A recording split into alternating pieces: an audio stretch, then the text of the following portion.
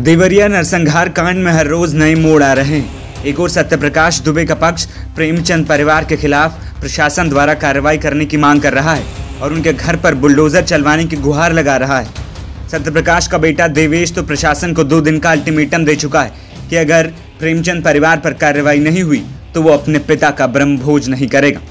देवरिया कांड बड़ा था तो इस पर सियासत भी खूब हो रही। है आए दिन कोई न कोई नेता, मंत्री अपने फ़ायदे के लिए दोनों परिवारों से मिलने पहुँच जाते हैं। इसी कड़ी में गुरुवार को देवेश दुबे से मिलने प्रदेश के कृषि मंत्री सूर्य प्रताप शाही पहुँचे।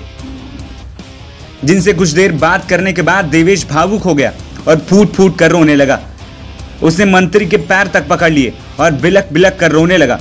रोते हुए देवेश ने मंत्री जी से कहा कि सिर्फ़ आश्वासन मिल रहा है। कार्रवाई कराइए। मेरे पूरे परिवार को खत्म कर दिया गया। अभी तक कुछ नहीं हुआ। हमारी दीवाना समझिए आप। आप ही मेरे माँ बाप है आप ही सब कुछ है।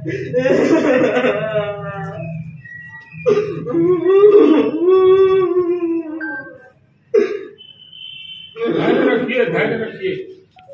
शहर के देवरिया रामनाथ मोहल्ले में रह रहे देवेश से मिलने के लिए प्रदेश के कृषि मंत्री सूर्य प्रताप शाही पहुँचे थे।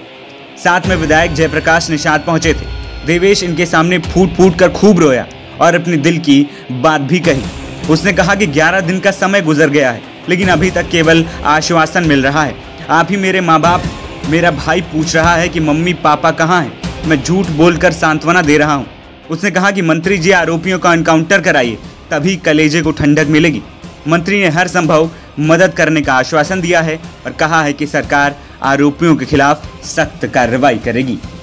हंगामा टाइम्स की तमाम खबरों को देखने के लिए हंगामा टाइम्स को सब्सक्राइब कर लीजिए और बेल आइकन दबा लीजिए। अगर आपको ये वीडियो अच्छा लगा हो तो लाइक बटन प्रेस कर अपनी प्रतिक्रिया हमारे कमेंट बॉक्स में देना